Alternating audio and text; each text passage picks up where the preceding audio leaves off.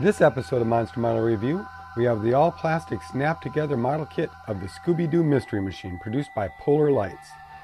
This is an easy kit to build. It comes in 32 pieces and includes two metal axles, clear and chrome parts, and two pre-painted figures of Shaggy and Scooby Doo. It's recommended that you read the instructions thoroughly, as with all kits, but being a snap together, I know there are some of us that don't. This is one of those times it's needed. Putting in the seats and figures can be a challenge, but with the simple diagram on the instructions, it's pretty easy. I finished building the kit in minutes and used the pre-painted and pre-cut stickers to decorate my mystery machine. As with all snap together kits, you can go that extra mile and glue the kit together and paint it to your specifications. I would recommend gluing the pieces just to keep the kit together for many years to come.